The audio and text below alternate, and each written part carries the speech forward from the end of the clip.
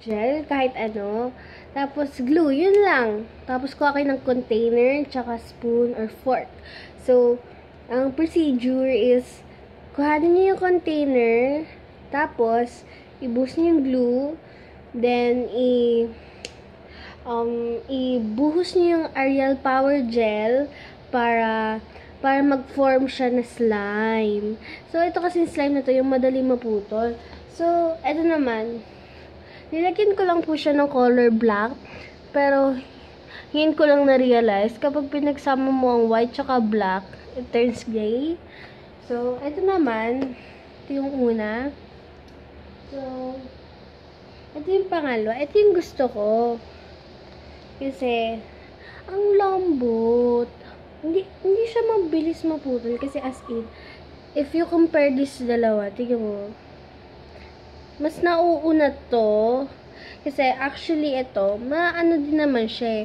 Pero, um guys, wait lang po, paalala.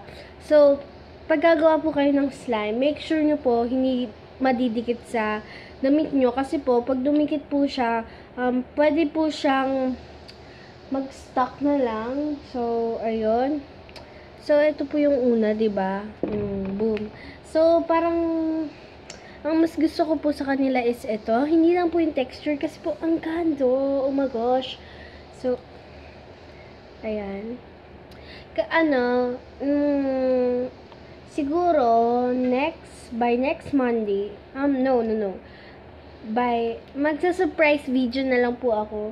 Um yung video na po 'yun is kung paano gumawa ng ganitong fluffy slime. Kasi, as in, oh my gosh! Ang fluffy! So, ito po yung gusto ko. Oh my gosh! Tingnan niyo po. Di ba hindi bumibigay agad? Parang love life lang yan eh. Kailangan, kailangan mong kumapit para walang bumigay. Char. Ito po. Kung gusto niyo pong gumawa ko ng channel about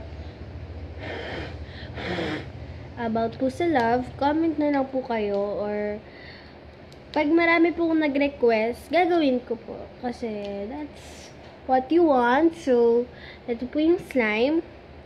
Um, sec um, second ko po na paalala.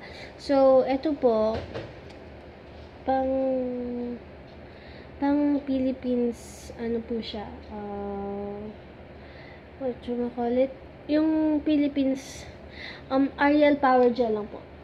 So, ayun, nandun po yung gamit ko. It's so mess. So, kaya po nagka-color to. May ka, um, share ko lang po ah.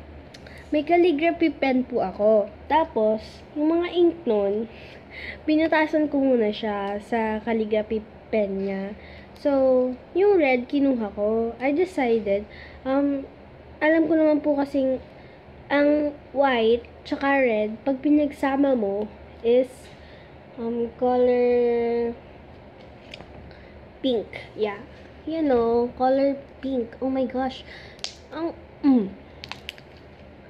So, tingnan nyo po, mas ang sarap.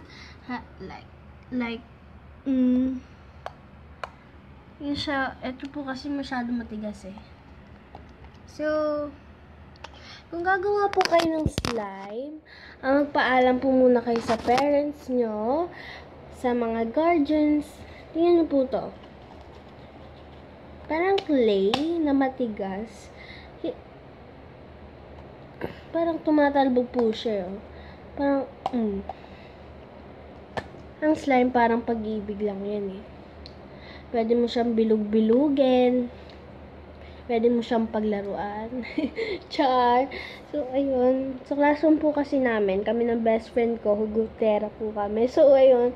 Parang nasanay po ako na maghugot na maghugot. So, ayun po. Subscribe to my channel and to my video. Make sure you like this video. Um, kung ayaw nyo naman po i-like, say, it's okay lang naman po for me. Um, try ko po patunayan sa inyo kung kaya ko po talagang patunayan na ma-inspired ko po kayo. Kasi ako po, sweet girl po ako eh. um, ayun lang po. Thank you! Bye!